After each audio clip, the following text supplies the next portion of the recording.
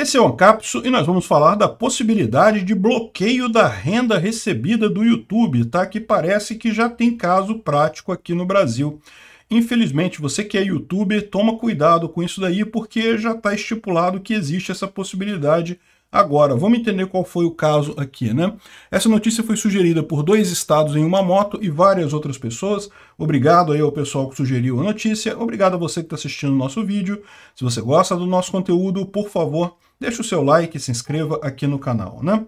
Pois bem, um juiz de Mogi Mirim, não, desculpa, Mogi das Cruzes, em São Paulo, determinou a penhora de valores referentes à monetização de um canal de youtuber para quitação de débito judicial, né?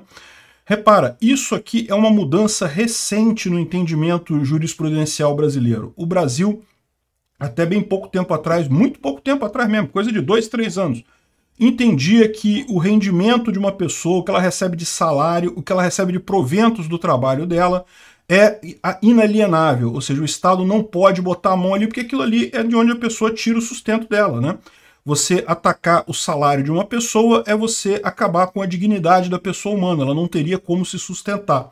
Então, mesmo que você esteja devendo uma grana aí para lojas ou para alguma coisa, o juiz poderia determinar o arresto ou a penhora de bens que você tenha, por exemplo, se tiver algum um imóvel sobrando, tiver carro, tiver moto, tiver alguma coisa, isso pode ser penhorado, mas ele não podia penhorar a sua, a seu, o seu rendimento do seu trabalho, uh, o seu salário ou rendimento do seu trabalho, né?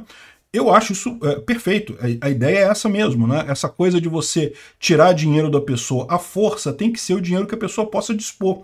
O dinheiro do trabalho da pessoa, o que ela faz de rendimento, é, é dela, não é? É o que ela usa para se manter, para manter a família. Você tirar isso é realmente um ataque à dignidade da pessoa humana, né? Pois bem, mas essa, essa ideia mudou de uns tempos para cá e recentemente os tribunais superiores reconheceram a possibilidade de penhora de salário. Então hoje em dia até salário pode ser penhorado para pagar dívida. É lógico, eles têm algumas condições ali, você não pode penhorar todo o salário, você tem que. De, depende do valor é, é, que a pessoa ganha. Se a pessoa ganha pouquinho, você não pode penhorar nada. Se a pessoa ganha um pouco mais, já pode penhorar uma, uma parcela daquele salário. É, é uma coisa que fica muito subjetiva, porque como que o juiz vai saber o quanto que vai fazer falta para você de penhorar o seu salário? O meu salário não sobra nada, eu preciso de tudo para viver. Como é que vai fazer com isso, né? Mas enfim. Então, no final das contas, isso começou a acontecer agora de casos de dívida é, aceitarem a penhora de salários e, é lógico, daí a penhorarem renda de YouTube é só um passo a mais e isso aconteceu nessa ocasião.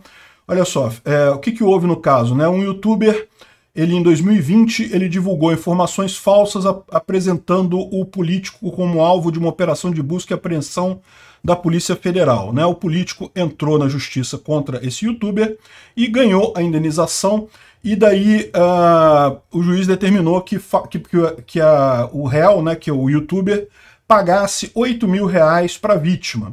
Só que não houve o pagamento, né? E, e aí a vítima tentou procurar algum bem de valor em nome do réu, não tinha nada.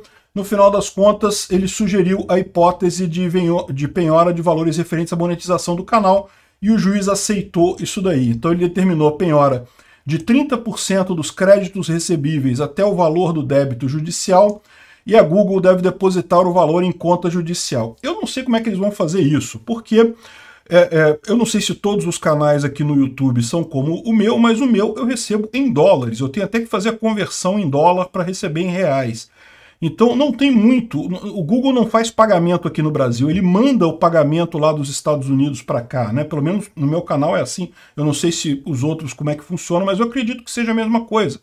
A, a, Google aqui no Brasil, ela tem uma filial aqui no Brasil, mas ela trata apenas de venda de anúncios e o contato com empresas e coisa e tal. Ela não faz a parte de pagamento dos criadores aqui. Essa parte de pagamento dos criadores vem toda lá de fora, né? Então, eu não sei como é que a Google vai vai obedecer isso daqui, porque na verdade ele, teria, ele teria que mandar uma ordem para Google lá nos Estados Unidos, que é quem faz os pagamentos. Não sei como é que eles vão resolver mas o fato é que uh, foi determinada essa penhora. Se isso vai funcionar ou não vai funcionar, eu não sei. Mas é uma possibilidade, né? E é uma possibilidade preocupante, porque você sabe, a gente que é youtuber aqui acaba recebendo um monte de processo de um monte de gente por calúnia, injúria, difamação e coisa e tal. Por mais que se tome cuidado de não ofender ninguém e coisa e tal, as pessoas se sentem ofendidas por qualquer coisa, né? Qualquer crítica mais séria, qualquer é, opinião um pouco mais é, é, elaborada e a pessoa se sente toda ofendidinha. Então, isso é uma preocupação realmente aí para mim, certamente, e para você que é youtuber também deve ser uma preocupação isso. Eu acho que o grande erro dessa história é justamente isso, né? Essa facilidade aqui no Brasil de você poder processar por calúnia, injúria e difamação deveria ser mais difícil, deveria ser como nos Estados Unidos, que você quer provar que a pessoa teve a intenção de te prejudicar. Não, eu fiz uma crítica, critiquei a pessoa, né? não tive intenção nenhuma de prejudicar ela, eu estava criticando a pessoa. Se provar que eu tive intenção de prejudicar, aí é outra história, né? É como é lá nos Estados Unidos esse tipo de, de ação. Enfim, e também essa questão de penhorar salário eu acho extremamente temerária, porque isso pode jogar a pessoa numa posição muito ruim no final das contas, né? E, e lembra, a gente está falando de YouTube aqui, mas é qualquer salário, qualquer renda pode ser penhorada agora. Obrigado por assistir o vídeo até o final. Além de curtir, compartilhar e se inscrever no canal, considere se tornar patrocinador com valores a partir de R$ 1,99. Clique no botão Seja Membro abaixo para saber as condições e vantagens de patrocinar o canal. Mais informações sobre o nosso projeto, visite nossos sites indicados na tela.